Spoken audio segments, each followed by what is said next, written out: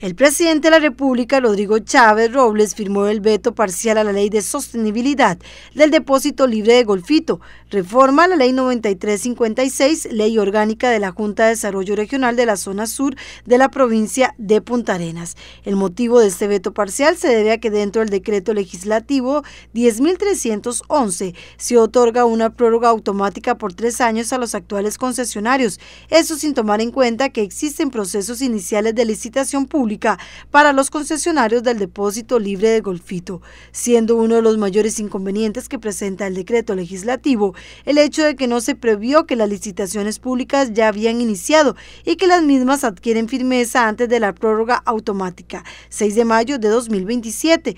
o estando en marcha dicha prórroga automática para los concesionarios antiguos. Las concesiones de los procesos licitatorios adquieren firmeza, el conflicto de intereses entre los nuevos y actuales concesionarios, así como perjuicio grave a los futuros concesionarios que fueron seleccionados bajo las reglas del concurso público amparados al principio constitucional regulados en el artículo 182 de la Constitución Política, así como el principio de libre competencia consagrado en el artículo 46 de la Constitución constitución política, ya que no podrán entrar a tomar posesión de los locales si estos se encuentran ocupados por los concesionarios anteriores, que se amparan en la prórroga que otorga el decreto legislativo 10.311. Por los motivos anteriores, el Poder Ejecutivo envió una propuesta de redacción del texto que debería ir en dicho transitorio 11 para su consideración de la Asamblea Legislativa.